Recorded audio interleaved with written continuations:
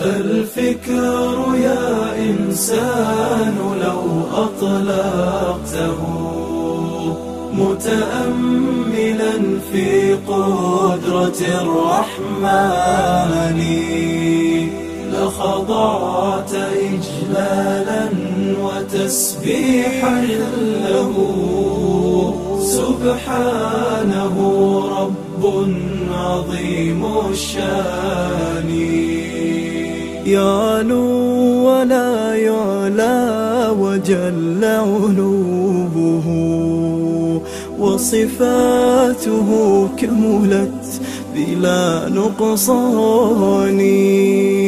سلطانه باق ويبقى ملكه. هذا ويفنى كل ذي سلطان.